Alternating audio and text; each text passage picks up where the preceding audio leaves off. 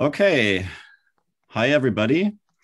Um, I am uh, Michael Sentef, and I will be your host and moderator today.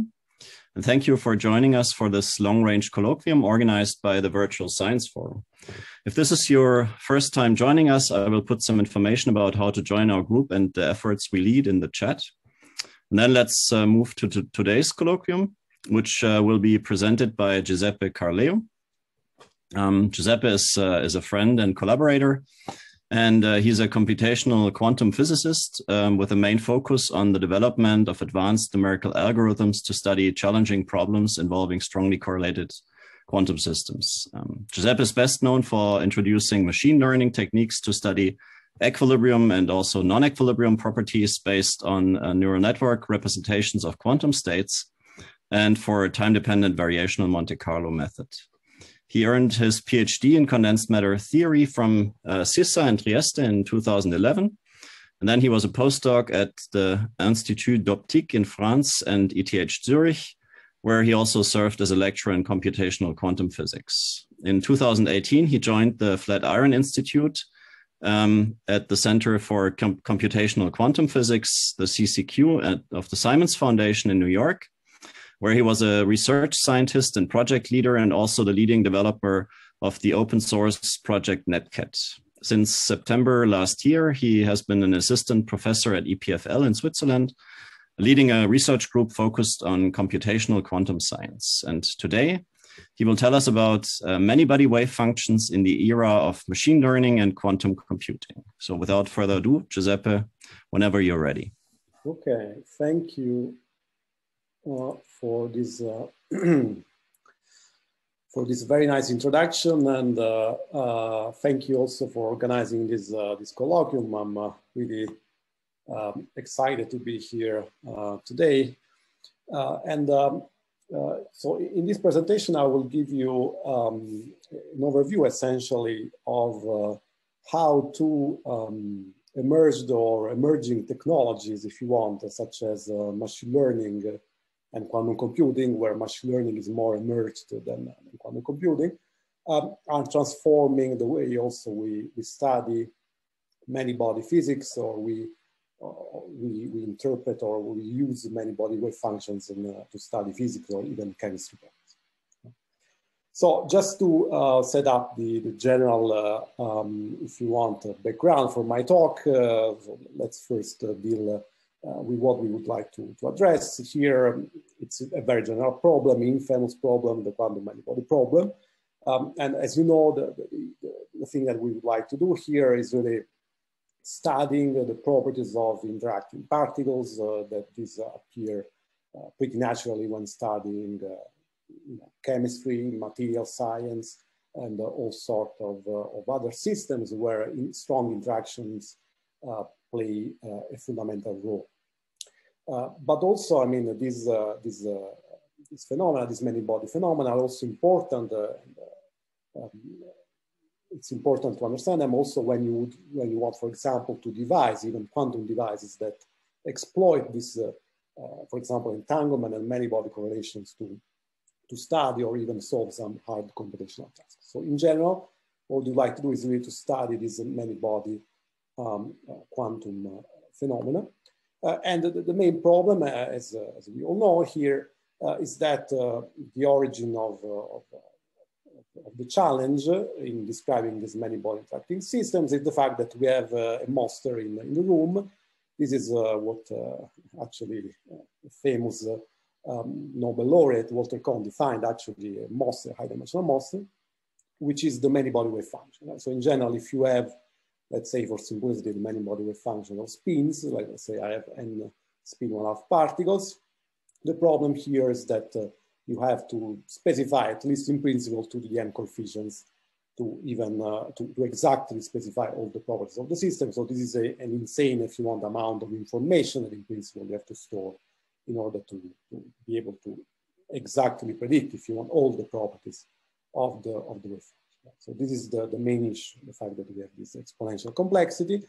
And as a result of this issue, as you know, solving uh, fundamental problems, for example, the, um, the Schrodinger equation, the time independent or time dependent one, um, is an intrinsically exponential arc task. So because this vector here, if you want, is exponentially large, and uh, even though if typically, uh, as a result of physical interactions, you can show that most Hamiltonians are these sparsity properties, but this is typically not enough to, to be able to solve them exactly for, let's say, a typically large material we are, we are interested in. So, and uh, as a result of, of, this, uh, of this complexity, uh, the, the, number of qubits, or if you want, the number of spins, or the number of electrons with functions you can, um, you can, you can store typically on, on, a classical computer is very limited. Uh, and you can see that in, uh, about uh, 50,000 years of, of, history, essentially, the amount of qubits, if you want, you can store on, on available technology to, to humankind hasn't increased very much. Um, essentially, we, we went from 10 to 50 uh, in uh, going by analog to digital technology, but still you see, uh, because of the amount of information, even if you use all the memory in, on Summit, one of the largest supercomputers nowadays, this would allow you even just to store the wave function of more than 50 qubits. So this is a real bottleneck, so this uh, nominal uh, exponential complexity. However, there is a very nice, uh, I think, uh, way around. It's not, of course, a generic uh, solution to, to, to, this issue, but it's uh, one of the most powerful, I would argue, um, way around that we have nowadays to, that we, have had for, for some years, but nowadays it's becoming more, I would say, powerful ways of going around this problem. And so this, this way around is based on variational representations. So the main, uh, if you want, uh, insights or the main uh, concept that, that uh, on which all these variational methods are based on is that even though it's true that uh, a generic state lives in this Hilbert or vector space like uh, the one I, I, described before, so these are you know, exponentially complex. Uh, however, it's also true that we, are, we don't care about random states in this uh, Hilbert space, right? So we want very specific states that are not random. They are solutions of uh, you know, physical equations. So they are solution of the uh, Schrodinger equation of some like, Lindblad, why, why not master equation if you have a density matrix and, and so on. So these are very specific, very structured states that, that if you want that we would like to, to study. Uh, and uh, as a result, what we can try to do, and this is a very old, if you want, idea, we, we can try to parameterize my, my vector, my, my wave function, with some parameters that here I'm calling W. This can be thousands, millions, if you want, or just one, if you uh, if you don't want to use many. But the idea is that by, by changing these parameters, we can try to explore, to, to somehow cover this space of physical states as much as possible. Okay? So if you want, uh, the, the, basic idea of variational potential is, is, very easy. It's that by changing these parameters, we can try to span this class of interesting variational states. Now, traditionally, so how do we find these, uh, these variational states? Well, traditionally, it happens that uh, physicists are very ingenious uh, and I've devised a lot of, of uh, very interesting variational wave functions. So I'm just listing here um, some of the most famous like Laughlin states, uh, the Bethe wave function, Jastrow wave function, BCS wave function. So most of them led to Nobel Prizes uh, accidentally. Uh, I mean, not, not accidentally, but uh, because they give intrinsic insight into very important problems such as superconductivity, uh, or you know topological properties uh, or interacting properties in 1D and a lot of other interesting things. However, as you can see, these are, I try to depict those as like punctual uh, point-wise entries in this um, large set of physical states, in the sense that if you, for example, are interested in solving a generic Hamiltonian uh, that goes, for example, beyond uh, the, the, 1D integrable properties, uh, so it cannot be solved for Bethe-ansatz.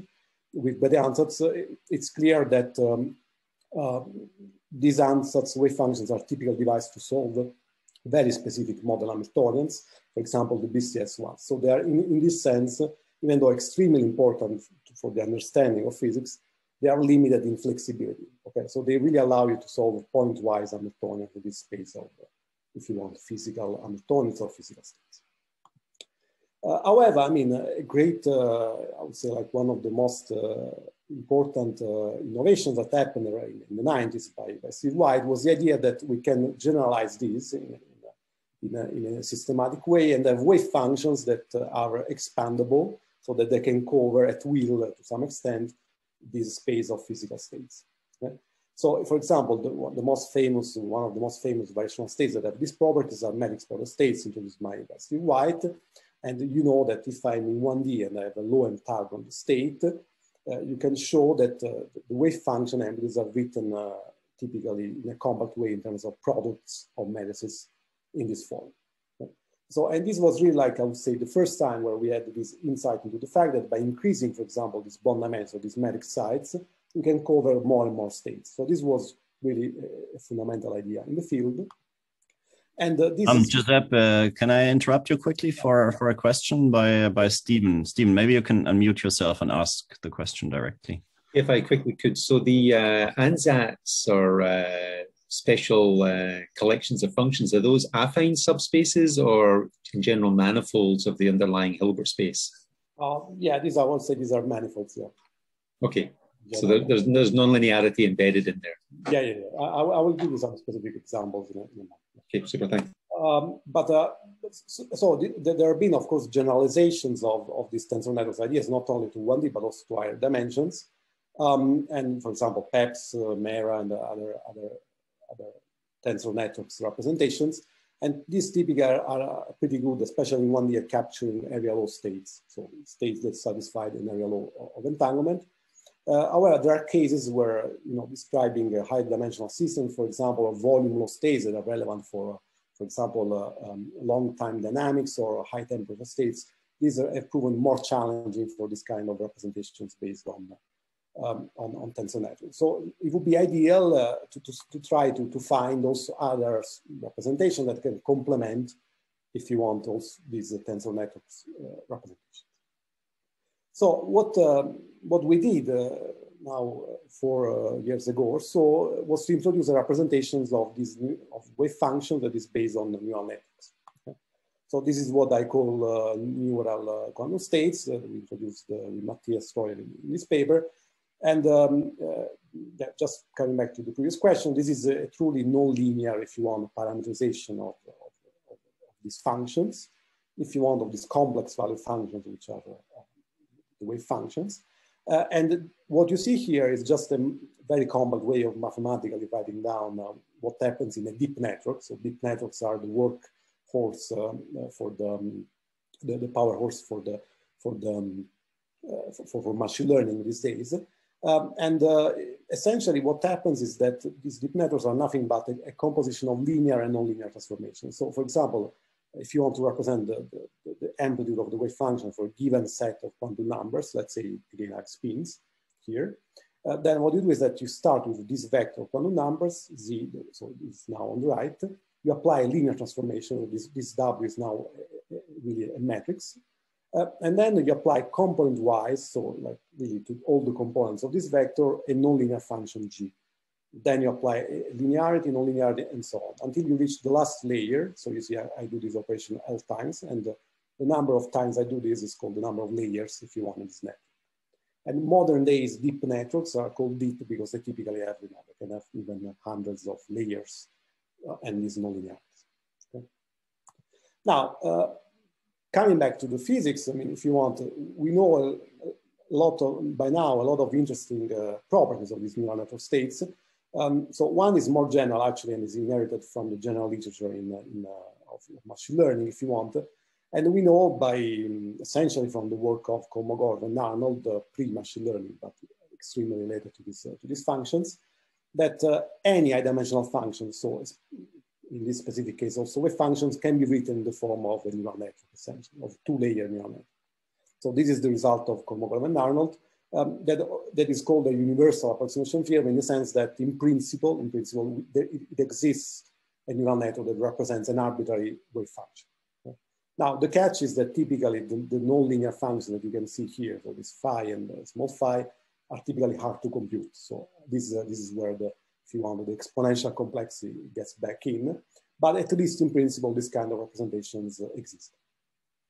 Also, there is uh, um, uh, there are more general, if you physics-based arguments that have been derived in, in these papers uh, that tell, tell us that um, if you have uh, a deep network, you can efficiently encode, for example, volume law. Right? So if you have a long-range entanglement, not only long-range colloquium, but also long-range correlations, um, then you can encode these efficiently. Efficiently means using a, neural network of polynomially, uh, polynomially sized, the correlations by, by increasing the depth. So essentially, if you scale the depth with the number of particles, then you can encode also long, encode long range correlations in your system, okay?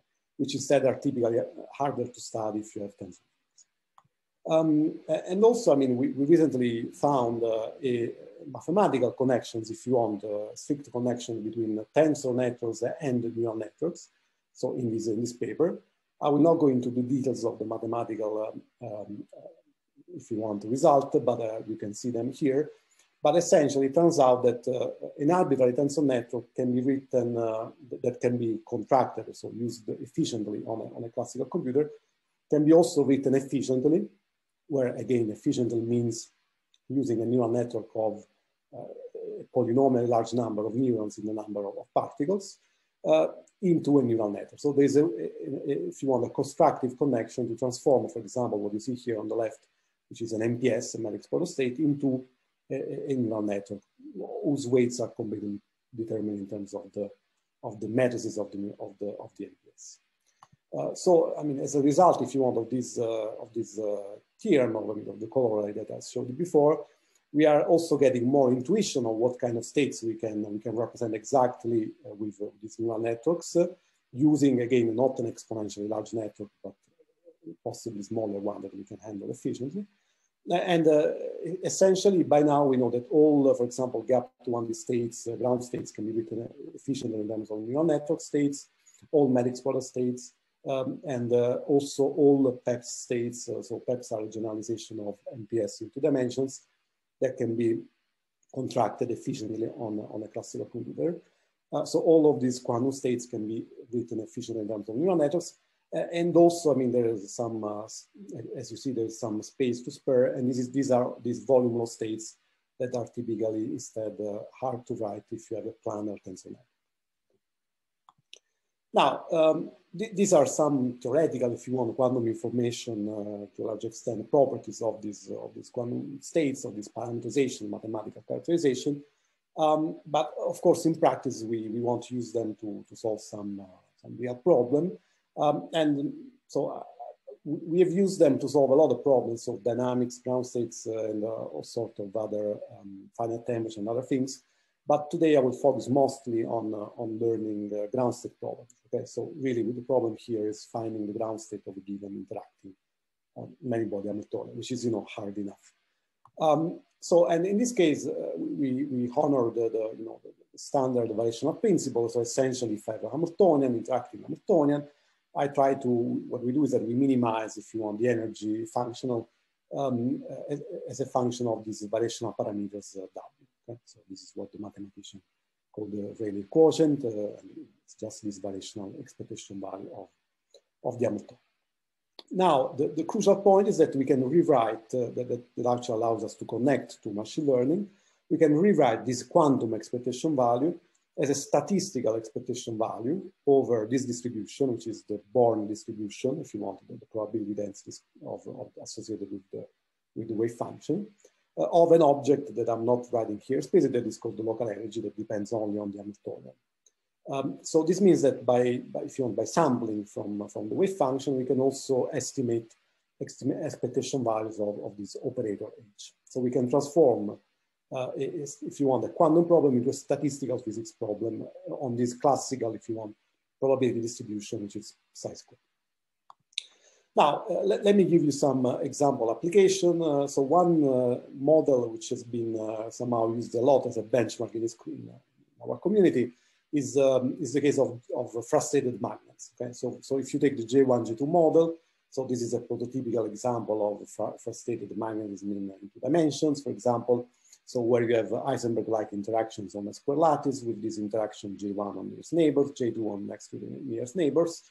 And you know, this problem is uh, unsolved uh, because you can't use, uh, for example, quantum Monte Carlo, you can't use uh, tensor networks um, uh, with the same degree of controllability that you have in 1D. Um, you can't use quantum computers to solve this problem uh, exactly. So it's really, you know, a very hard Uh, problem that we don't know how to solve exactly. So it's really a natural benchmark for new techniques, I would and the open question here is uh, essentially uh, if there is a spin liquid, so disordered, if you want, non-magnetic phase intervening uh, in the middle of, of, this phase diagram where J2 is of order 0.5 when compared to, to J1. So this has been an, an open issue, if you want, in, for this kind of now, uh, if uh, we take uh, a step back and we take, uh, first of all, the Heisenberg limit, so we, we remove this J2 term, so we put J, J2 equal to zero. Uh, this was uh, the first applications that we did of our techniques to, as a benchmark for just the Heisenberg model into the, um, and you can see here that by increasing the, the, the, network size, so this alpha was the, if you want, the width of this, this network, we could improve on the accuracy on the ground set energy systematically. You see that the, the, error goes down. This is the error on the energy. Um, um, but I mean, recently by, by going deeper, so being able to use deeper networks, we, we've improved this uh, also more and more. I mean, we solved some. Uh, so this is, uh, if you want, the slide containing all the the, the, if you want the, the evolution, I like to show this because it shows that it takes some effort, but at the end we can we can improve things. Um, and you see that recently by using uh, significantly um, deeper networks that what we could do it uh, in these uh, you know early applications, we, you can solve, for example, this Heisenberg model almost exactly, I would say, with a variational uh, ansatz, which is already a non-trivial case in this limit in which is equal to now, if we go back to the, to the J2 finite, uh, so the state of things uh, as of, uh, of, of, our paper in, in 2019 uh, was that uh, we, we, could um, um improve uh, some other existing techniques. So for example, you can see that DMRG, despite being a 1D technique, is, is extremely powerful also for this 10 by 10, for example, cluster into dimensions. Um, and you can see here the difference in energy between our approximation, that is here, it's called CNN, and these other fields. So, so you can see that if our energies uh, lie in this, uh, in this part of this diagram means that we have a better energy, or if they lie here, it means that we have a worse energy. And you can see that almost everywhere, I mean, with the notable exception of these two points that you can see here, um, these uh, deep networks were already able to, to, to, improve some of these, of these existing uh, approaches. Now, as you can see, there are these two points that are a little bit have been, have been annoying for a long time uh, in the community because somehow pointed out to the fact that around this strongly frustrated regime, that, that, that, there was a difficulty in the, in the, network to learn if you want the ground state. And uh, it has been, um, this, this challenge has been analyzed, uh, it has been uh, some, some reasons for this, for this uh, if you want, uh, less uh, know, difficulty learning these frustrated phases has been analyzed, if you want, also from a statistical physics perspective in this very nice paper. And uh, they, they, for example, what you can see here is that if you take a frustrated model, which is not exactly J1, J2 model I showed before, but similar, um, and you increase the frustration, so the frustration here increased by increasing J2 uh, also in this, uh, with these colors that you can see, they show that the number of samples, so this axis is essentially proportional to the number of samples that you need to learn the ground state. Um, essentially, uh, you can see that when you, when you go deep into the frustrated phase, also the number of samples that you need to learn these ground states with a good fidelity, so fidelity one means uh, I got it uh, exactly, also increases. And there is a very interesting sort of phase transition at some critical number of samples that you need to see. So the intuition behind this is that if I am in, a, in, a, in a, if you want, in, an L order phase or in a scribed order phase or in some ferromagnetic order phase, also the number of measurements, if you want, of samples that I, I, need to see from my wave function is much smaller if I want to learn the ground state than those that I have in a spin liquid phase. This is because typically here I have a lot of, uh, you know, highly entropic phase with a, with a lot of different film structures. And this, uh, the fact that I need to use a lot of samples is reflected by, uh, again, by this lack of, uh, this, this slightly less precision in this, in this region of, of the phase gap. And is shown here where you see that this critical, if you want, number of samples changes by increasing the, the, the, the, the amount of, of, uh, of frustration. Uh, however, I mean, uh, you know, uh, we, we, like improving things and also other people in the community like improving things um, independently. And this is the case, for example, of this very, very recent um, uh, work in the group of, of Imada, Masatoshi Imada in, in, in Tokyo by Yusuke Nomura. Um, and uh, you can see here, so this is the, the infamous uh, 0.5 point. So this uh, case here where we had um, bad accuracy in the, in, the, in, the, initial states. But it turns out that if you impose, for example, translational symmetries in a, in, a, smart way, I'm not going into much into the details, but you can see that essentially also in this case, also in this very challenging um, point, now uh, the, the state-of-the-art results from this model are obtained with this uh, neural networks. So these RBM plus PP are just neural networks with some enforced symmetries. Okay? So I invite you to read the paper if you want uh, more details. So uh, the, the, the, the, way we, we used to, we, we, can outsmart, if you want, this number of samples uh, problem is by using symmetries that allow us also to reduce uh, systematically the number of samples that we need to see in order to learn the ground state efficiently. Now, um, another family of problems uh, that uh, has been uh, that is uh, essentially, if you want, if you want, the most interesting uh, problem we would like to solve when it comes to to, to many body uh, physics are fermions, right? So I, I, told you at the beginning that we want to study in principle properties of materials of, of, molecules. So we need to deal with the problem of, um, if you want, enforcing the, the most one of the most fundamental symmetries that we have in, in nature, which is you know, the permutational symmetry in the uh, for identical patterns. Right? So when it comes to fermions, there are different ways of doing that with neural networks. So the way that I will describe now is what we did in, uh, in this paper, um, which is, you know, to some extent uh, um, naive and uh, but, but uh, straightforward. Um, but the idea is that, uh, as you know, there are ways started by Jordan and Wigner to map fermions onto spins. Right? So if I have a generic fermionic Hamiltonian, I can map it into, into a spin Hamiltonian. So so in this sense, without uh, permutational symmetries in the wave function. Um, and then I can use all the techniques that I've developed for spins to study also. Okay? So this is what we did in this paper. Uh, and one something which we did that is not usually done, if you want, in the condensed matter community is that we adopted also other mappings.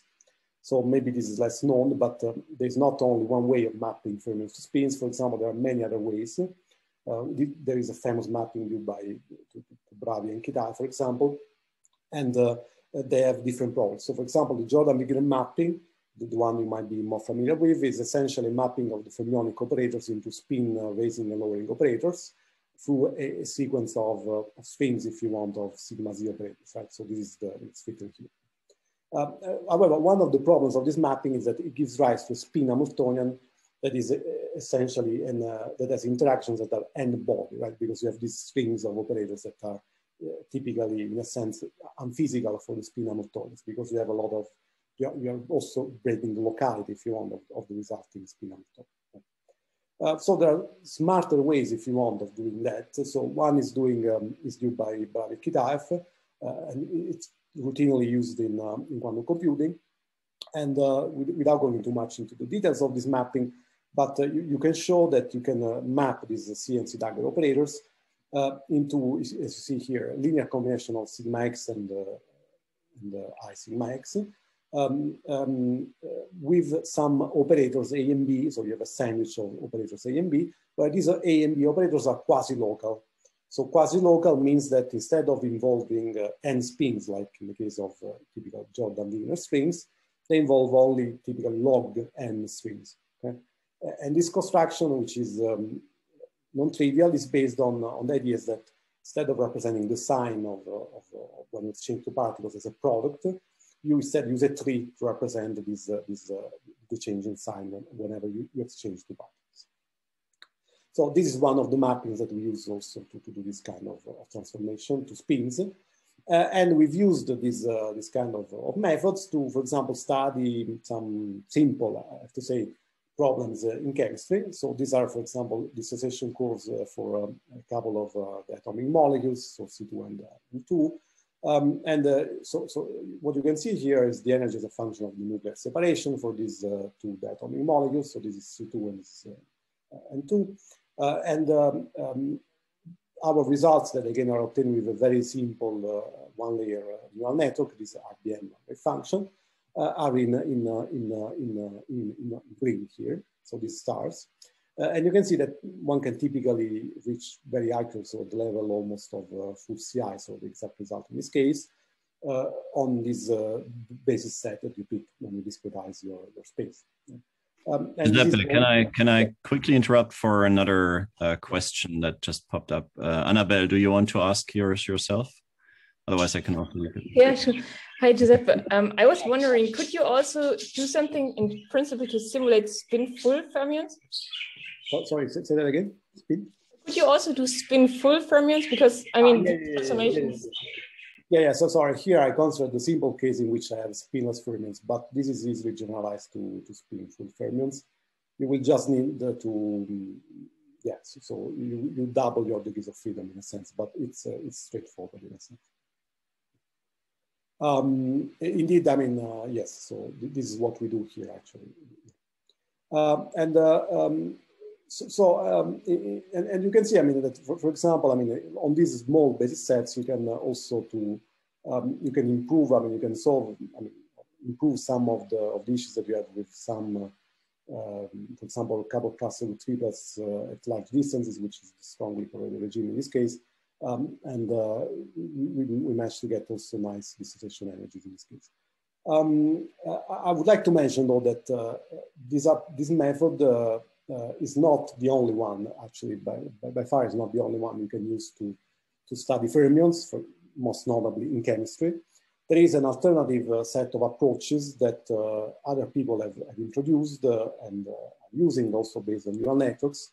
Um, and these are based on what are called the neural network backflow transformations.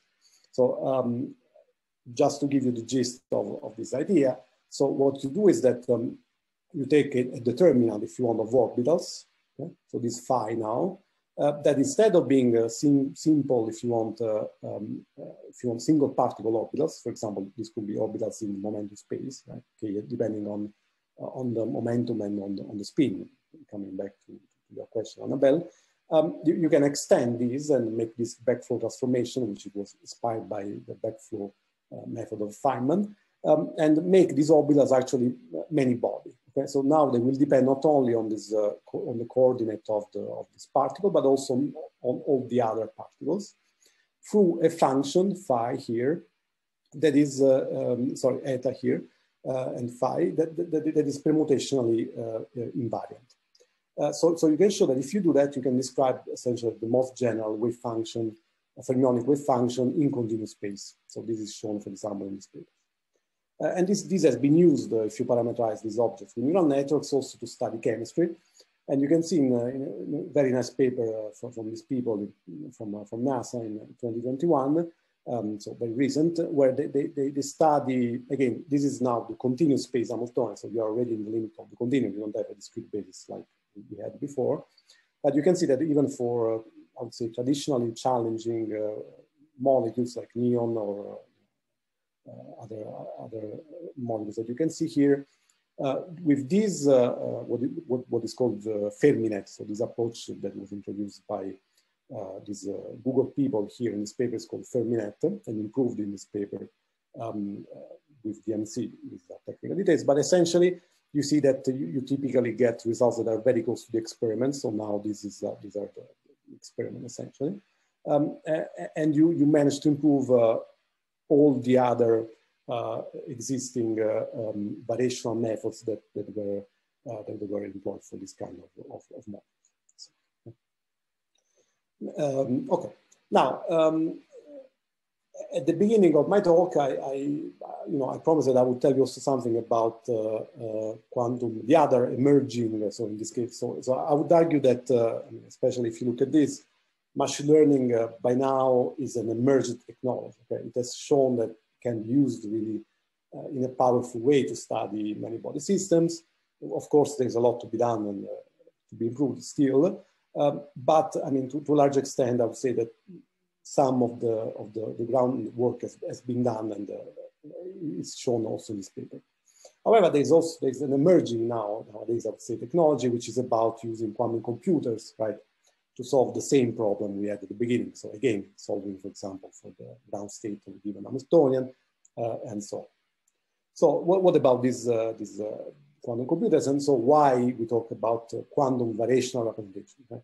So the idea here is that um, if you want, instead of having now uh, parameterization of the wave function in terms of uh, weights, so these W matrices that I have in my neural network or any other classical variational state, or tensor network, for example, on a quantum computer, what I have is that I have a circuit. Okay, so I have a quantum circuit that is uh, simplified here, simplified here with this U of theta, that depends on a lot of parameters. So for example, these are the knobs of, of the gates, so these are the angles of some uh, rotation that I can make on the first qubit, on the second qubit, and so on. So these are all controllable parameters of my circuit. Okay?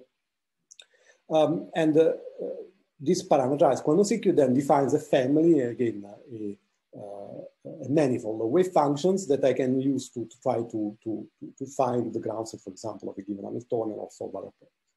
So I have in all these kind of applications a loss function that can be, again, uh, this is loss function as a jargon in machine learning, but you can think of this just as the energy. So this would be the expectation value of the Hamiltonian again. And, and you can minimize this, this time not on a, on a GPU, on a classical computer, but really on a quantum computer, this object to find, the, the, for example, the ground state, uh, typically using uh, some gradient descent.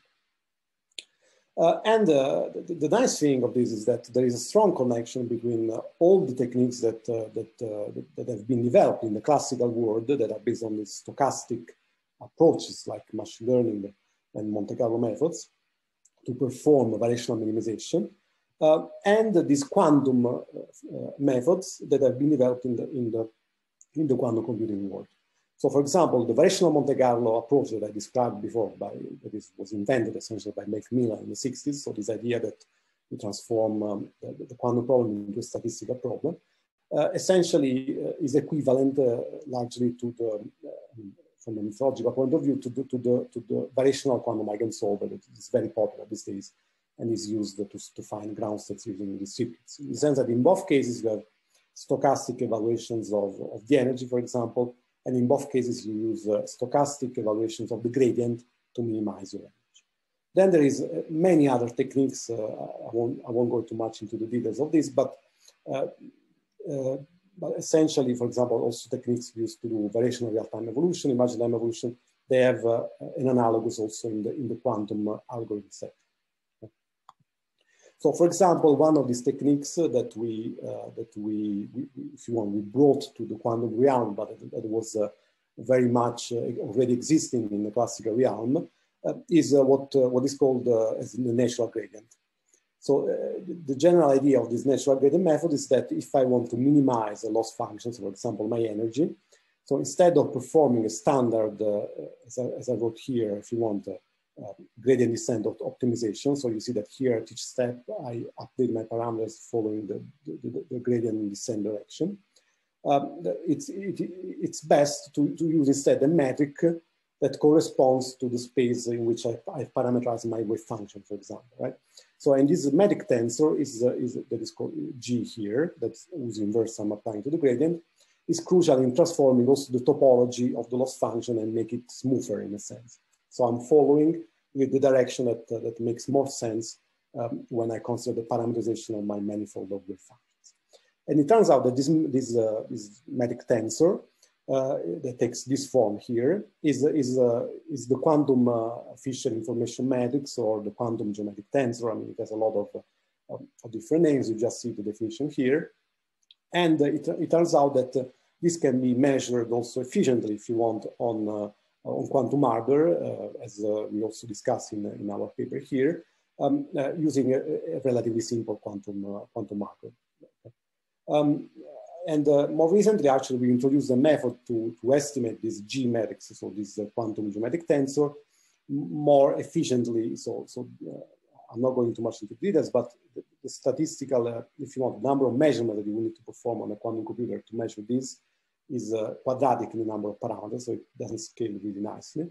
However, with this recent development we did, which is called um, uh, the quantum natural SPSA, uh, with, uh, with the IBM people that uh, in Zurich that, that listed here, uh, we showed how to make also this, this thing more efficiently run on an actual quantum computer and, and make it also, if you want, more efficient to, to find ground states of some, some interesting Hamiltonians. It has been also recently demonstrated for, for chemistry applications um, by, by IBM.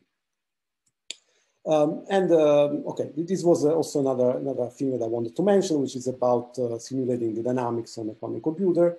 Um, and uh, it's another quantum algorithm that we, we, discovered. So this is this other line here.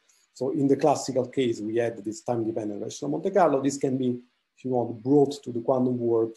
Um, and that's what we, we call projected uh, variational quantum dynamics.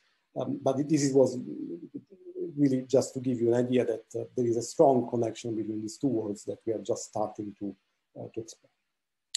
Okay, now maybe in the in the last uh, few minutes, uh, uh, I wonder if you want to try to, to close maybe the, the, the circle and uh, go back to, to, to, the first part um, and try to, to understand essentially what are the limits of, of classical simulation with respect to quantum computation, right? So, so what, I, what I told you is that uh, we, we, typically are, are, interested in studying the, the, ground states or physical states. And uh, we, we, do so either with classical wave functions, so for example, neural networks, uh, or with quantum wave functions, so with a quantum computer. However, I would say it's not entirely clear at this point uh, at what point, you know, uh, a classical wave function is not enough to describe an interesting, if you want, ground state, and you need the quantum uh, wave function in order to, to have more accuracy, uh, if you want, okay? So, and in order to, to start trying to address this question, uh, it's important, for example, to show that you can simulate one model with the other one, right? So, so in this sense, that's the sense of this work that, that we do here. So essentially, we try to simulate a quantum circuit using a classical machine. Because if you are able to show that classical, you can simulate a complex quantum circuit, then this would um, somehow suggest that uh, not all quantum circuits uh, uh, can explore states that you cannot explore classically. Okay? So to put it in this way. So in this sense, what we're doing is for this problem is that we try to, to approximate a quantum circuit. So you can see this as a, as a unitary dynamics if you want. The simplest unit dynamics you can do with some unitary gates, local gates. And uh, there is, a, as you know, a set of universal quantum gates, for example, single qubit rotation, Hadamard gates, qubit control z rotation. So this is the kind of gates that we take in, in our work. Uh, and uh, as we already showed in 2018, there is a way to, uh, to apply some of these gates, mm, most notably, for example, these control z rotations and these uh, entangling gates, uh, control z rotations. Um, sorry, these are single qubit rotation, these are controlled rotation. Um, uh, uh, exactly onto neural networks. So for example, what I'm showing here is that if I have a wave function, which is a neural network, like this one, and I try to apply this gate on this qubit, you can show that there's an exact representation of this uh, of the wave function after the application of the gate, also in terms of, of, of a neural network, slightly modified. The same is true also for these entangling gates. The only and I would say most important gates for which we don't know how to do this, uh, this operation exactly, in the sense that uh, uh, we don't know how to write an, an, exact neural network after the application of this gate is the Hadamard gate. Right? So this is an, an, important superposition one qubit gate.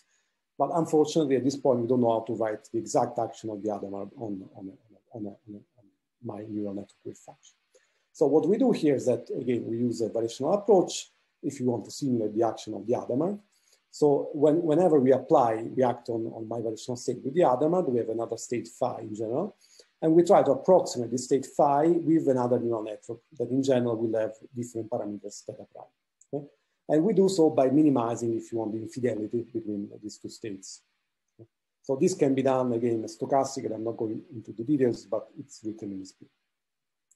Um, and uh, so it turns out that uh, if you do this, uh, this operation, uh, you, you will pay the price that uh, at each time you have a Hadamard gate in your circuit, you will need to approximate it with variationally. So you will introduce some infidelity in, in your circuit that you are simulating classical. Right? And to some extent, this, is, this can be compared, I think it's legitimate to compare this to uh, the kind of error that you have on an actual quantum computer. So you know that if you have a quantum computer and you try to execute a digital quantum circuit, you, you cannot do that exactly either because, uh, for example, whenever you try to apply Hadamard on an actual quantum device, this Hadamard is not implemented exactly in the, in the, in the analog, if you want, device that you have in the lab. But every time you apply the Hadamard, you will have a finite fidelity. Okay? Uh, and also you will have uh, some decoherence and other source of noise that comes from the environment. So this means that uh, to some extent, you also pay a, fidelity price in the experiment uh, that is that can be and should be compared, I would argue, to the fidelity price that we pay when we try to approximate the gate on the classical uh, simulation. Okay? So, and if you do this game, uh, for example, for some quantum Fourier transform or other, other simple circuits, uh, you can show that the, the amount of, of, of, uh, of fidelity that, that, we have, for example, for these five by five circuits, um, for which we can still do some, uh, some benchmark also for the exact calculations, is uh, comparable, you know, to an effective noise level on the quantum hardware, which is, you know, I would say relatively small, of 10 to the minus 3. So, so the bottom line is that if you want to beat, to, in this case, the, the accuracy that you have in the classical scenario, you need to have a quantum hardware which has a very, no, very low noise level at this point. Or you can do error correction, but this is not implemented yet in, in the quantum, in any quantum hardware. Uh, and uh, with this approach, I mean, just uh, with this, I will finish. We simulated one, uh, one, uh, one, one typical, one algorithm that has been uh, very um, popular this day, which is called QAOA. This is an algorithm that is based on, um, on the idea that you, you can try to use a quantum computer to, to find the minimum of a, of a generic cost function. I'm not going too much into the details of how this algorithm works, but you can see that it's pretty complex. It's been realized also experimentally by the Google team recently. Uh, and uh, it turns out that uh, with neural networks, we can go uh, actually at this point farther than what, what we can do experimentally by, I would say, still a large margin. We don't know how the experiment will evolve, of course, but at this point in time, um, for example, we can simulate this algorithm for on um, uh, to, to, some circuit depths and number of qubits that are not um, uh, reachable as far as we know with the existing uh, uh, uh, technology, for example, superconducting qubits with the, with the, same amount of fidelity that we have. So for example, you can see here the, this is the cost function that emerges in this in this um, in this QA quantum quantum algorithm um, that we can compare with the exact for for people one but so which is the depth of the circuit. But as, as, soon as we make your circuit deeper, for example, you go to this P equal four, and when you start having uh, you know this, these many gates, um, essentially this core that we predict here, uh, you know, we, we, don't have essentially any other way of comparing it to, to, to experiments because this is, um, as far as we know, one of the first times this, this, this, so this deep circuits has been simulated classically, or in general has been executed, I would say, even uh, more broadly. Uh, and, uh, and you can show that there's actually an advantage in using these neural network representations, especially in, in terms of uh, uh using uh, these, uh, these things to, to, to study these deep circuits where you have a lot of entanglement. So for example, if you, if you compare the, the bond dimension, so the, the, the metric size that you need if you want to study the same circuits, but with an MPS, so again, this, to, to, this um, tensor network, you can show that if you want to reach the, the same um, the same kind of accuracy, if you want on these on these circuits that that one can get with these neural networks, you will need the bond dimension, which is around 10 to the 4 or uh, in excess of 10 to the 4, which is uh, not very easy or very hard, I would say, at this point to, to reach uh, in uh, with, with, actual MPS calculations. So you see that typically we have to stop here because essentially of, of memory issues. So, so this was just to, to also give another argument that using these uh, large highly entangled states is, is effective uh, mostly I would say for, for, uh, for, for, dynamics, so in this case for, for unitary dynamics induced by a circuit, because it allows you to, to, to capture uh, entanglement also at the volume level, even when you have a deep circuit or if you have a long-time dynamics. Okay, so uh, I gave you a very broad uh, overview of, uh, of some of the applications that, uh, that we do of uh, um, these neural network states to, to simulate, if you want, uh, states classically, for example, for fermions or for dynamics, these circuits. Um, and I also gave you some, some idea of what we do or we're trying to do in the case of variational quantum circuits. So the case where we use um, quantum computers.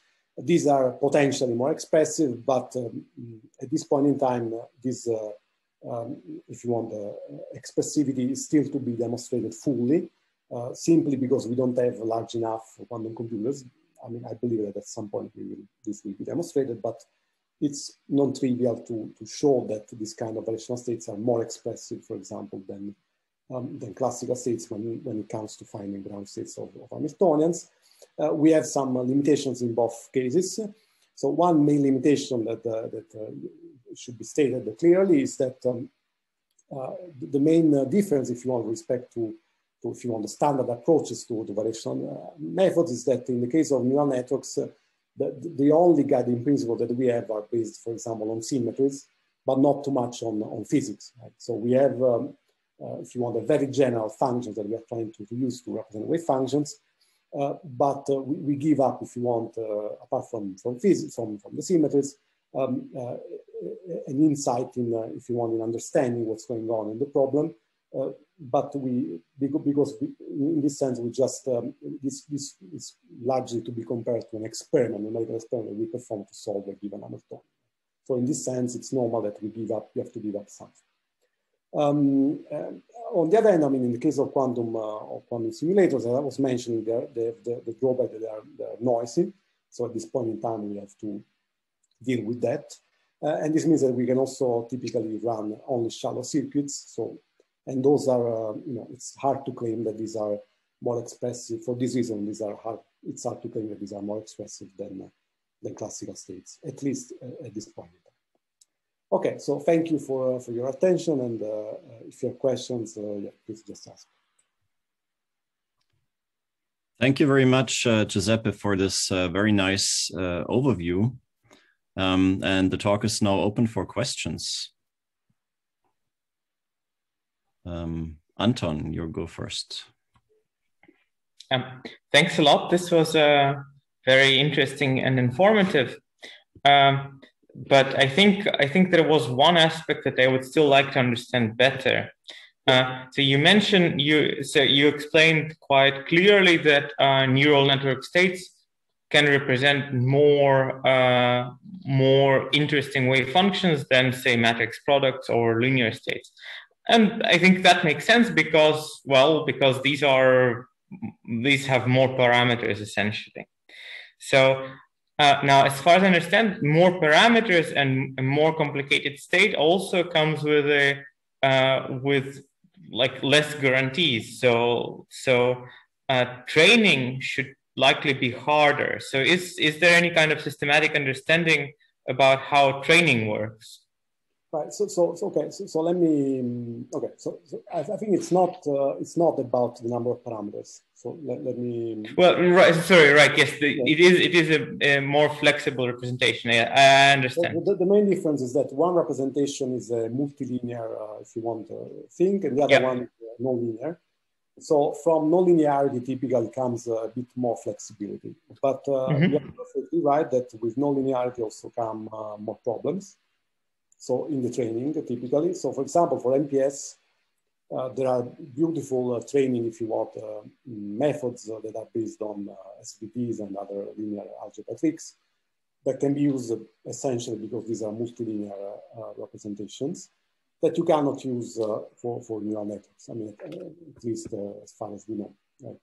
So, so in this sense, the main um, thing that everybody does is using gradient descent whereas nobody would use, uh, or almost nobody would use gradient descent, for example, to train MPS.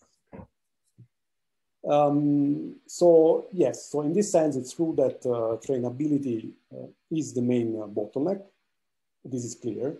Um, uh, but um, for, for example, as I was mentioning in the case of, of the J1, J2 model, if you see symmetries, you can try to, to alleviate this bottleneck so for example, if you don't use smartly, I would say symmetries, uh, your training will get stuck to some extent on energy, which is not as good as the DMRG in this specific case. However, if you use symmetries, you can, uh, you can do better. So we are, we are in the process, uh, again, uh, of, of learning how to, ourselves how to optimize these things uh, in the best possible way. This is to, to a large extent uh, open. The, the, I'm not claiming that we have the, the perfect training approach.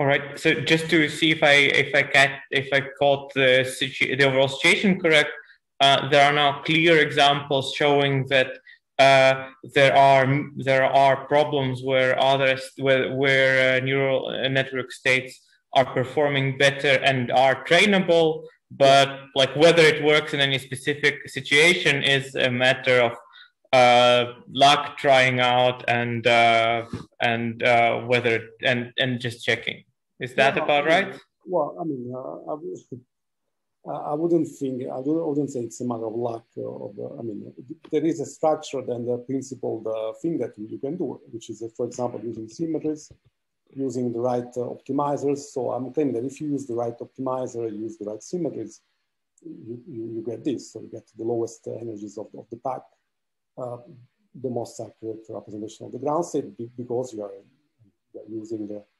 um, all the insights that uh, have been matured in, in this field so far. Uh, but in general, uh, any variational technique, even tensor network or, or a quantum um, circuit, um, is based on, on luck in the sense. In the sense yeah, yeah, okay, yeah, fair. Mm -hmm. No guarantee a priori that I give you a Hamiltonian and you can find the ground state with that given ansatz. Yeah. So in this sense, this is shared by all these variational methods. Yeah. Mm -hmm. All right, thanks.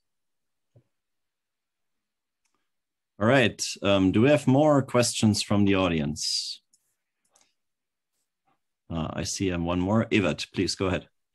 Yeah, now that I have you on this slide, I was just wondering about the intuition for this, uh, actually for the previous slide, for the phase transition behavior, yeah. sort of quote unquote phase transition behavior. Is, is the intuition here that you need this many samples because you want to filter out all of the Néel and the ordered states? Like, um, is that right? Do you see what I mean? That uh, yeah, yeah, you no, need this many I, samples I, to see to see that it's not Néel, Néel, and it's not ordered, but it's some mixture or something else. I think that this is the, the correct intuition in the sense that uh, I would expect that if I have a very simple ordered phase, in principle, I need one sample to learn it. Right? So I just need to know right. that uh, everything is uh, staggered or something like that. Uh, but but I have to say that uh, it's largely mysterious to me why there is a phase transition. I mean, I mean you can see this by eye that uh, is must be some sort of phase transition. Um, I agree. Yeah. This is um, there are some insights from uh, from the statistical learning community, but yeah, uh, I would say this is fascinating, at least uh, for me. When, when you look at the ground states, this is one of the yeah. questions. Yeah. Yeah, I agree. There's no. Is, do people think about some way of prioritized sampling here? Is there uh, some way of uh, rejecting samples if they're similar to what you've seen? Um, no, I think that this this has not been done. Uh, so if you want, yeah, one of the limitations of what we do so far is that we use, um, yeah, we just use uniform sampling from set square. You see here. Right. We, we don't yeah. put any prior if you want on things that we've already seen. So maybe putting some bias in a sense and uh, removing some samples you already seen might help. That's a good point. Uh, but mm, as far as I know, nobody's tried this. Great. Yeah, thanks. Okay, thank you. Um, Vladimir is next. Please go ahead. Okay, hi Giuseppe. Um, yeah, I was just wondering uh, about the same slide that Evert uh, was asking.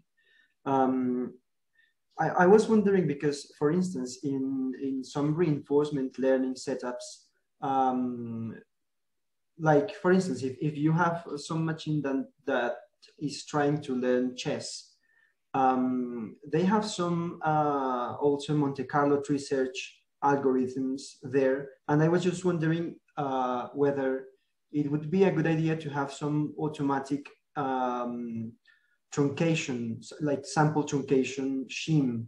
Uh, because I, I, mean, for instance, in uh, one of the phases here in this um, in this uh, system, but of course in other systems as well, such as the Bose-Hubbard, um, you only need, well, it depends on the basis, but you only need uh, some very uh, specific set of samples to correctly describe, in this case, the ground state Whereas in the other phase, uh, you need quite uh, a lot of samples to describe correctly the, the ground state. So I, I was just wondering if uh, there has been any tries to implement those automatic um, truncation, sample truncation schemes?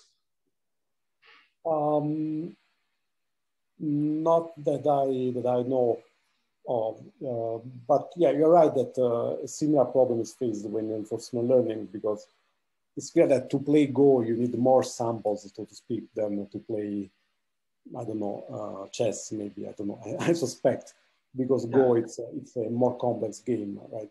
So in this sense, yeah, the analogy would be that uh, Go is more complex than chess, and uh, you know the spin liquid is more complicated than than the um, the, the, the ordered phase. But uh, uh, quantifying, if you want, this complexity is not easy, and I think this is one of the most uh, exciting, uh, if you want, open questions that are around that. Okay, thank you, Giuseppe. Okay, um, Joey. Um, yeah, I was just wondering, uh, are there any kind of physical models or states where it's known that like the ground state has like a very nice compact uh, neural quantum state representation? Like in for matrix product states, you have like the ground states, of the AKLT model and GHZ states, which have like a which aren't product states but have a very nice compact matrix product state representation. Um, yeah, unfortunately, I don't have the slide here anymore. But um, yes, so uh, all the states you mentioned have, have a do have a compact uh, uh, neural network representations. There are papers on that. Okay. Um, so also the toric code, um, all the stabilizer states. Um, yeah. Uh, I, I, mean, I would argue at this point that all these uh, all these uh, things here have uh, well, I don't know for the better answers, but I suppose yes. But I, I would say that essentially all these uh, states here have exact representations. Uh, and uh, yeah, on top of that, volume of states such as stabilizer or you know, other things. Cool. Thank you. Okay. Do we have uh, more questions from the audience to Giuseppe? If not, maybe I can I yeah, can ask. Say it again, Giuseppe. No, I think I run late a little bit with my with the time, but uh, yeah, sorry about that. It's fine. It's fine. Uh, it was very informative, as Anton already said. Uh, maybe I can ask one final uh, nasty question. Uh, if you go back to the slide with the Bethe ansatz and the BCS wave function, yeah, uh, this one, yeah, you mentioned or you pointed out that there was basically one Nobel Prize, I guess, for each of them, or I yeah, I mean, maybe not just. The Jastrow, but it's related. The Laughlin is the yeah. Laughlin involves the Jastrow, so you can argue that. Yeah. yeah. Um, so, what if you had to predict, like, if there's ever going to be a Nobel Prize for neural quantum states, what will be the, you know, paradigm shifting breakthrough that they have brought about?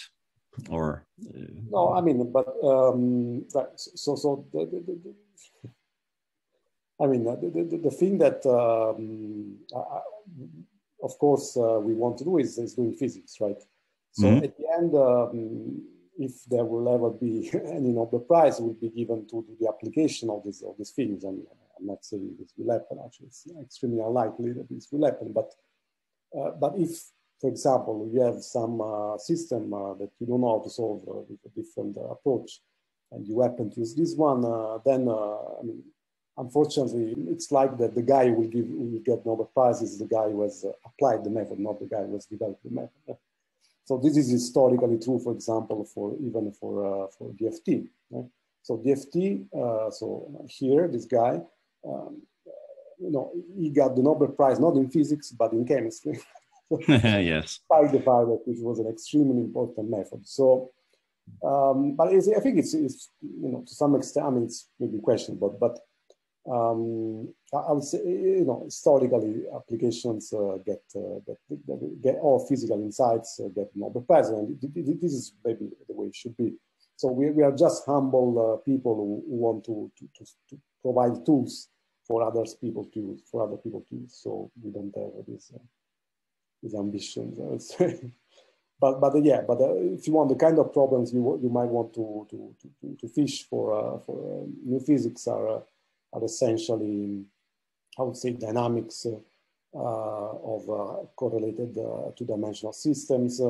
uh, or uh, again quantum circuits because you know why not there's a lot of interesting stuff happening in quantum circuits uh, also in the classical setting if you want um, dissipative transitions you know dissipative systems um, all of these are potentially open questions or actually open questions where if you have a new technique you can also find new physics um, so I think that this will come hopefully in the future soon. Okay, thanks uh, very much. That were those were I think very nice uh, closing works words for the for the colloquium. So um, let's thank, uh, thank uh, Giuseppe again, and uh, thank you everybody for for attending. And I will now stop the recording. Thank you. Thank you very much.